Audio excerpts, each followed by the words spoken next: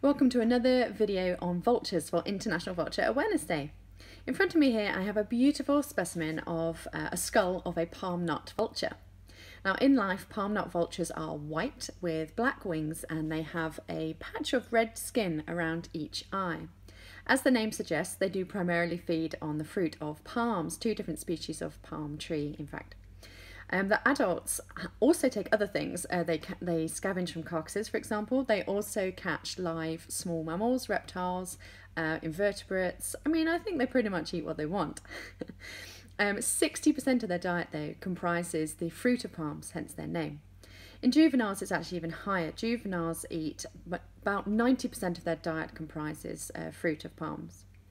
The palm nut vulture is doing okay, which is nice to hear. Um, not all vultures are, sadly, um, and they live in over 30 countries um, spread across the continent of Africa. Join us in the next video for some more fantastic vulture facts.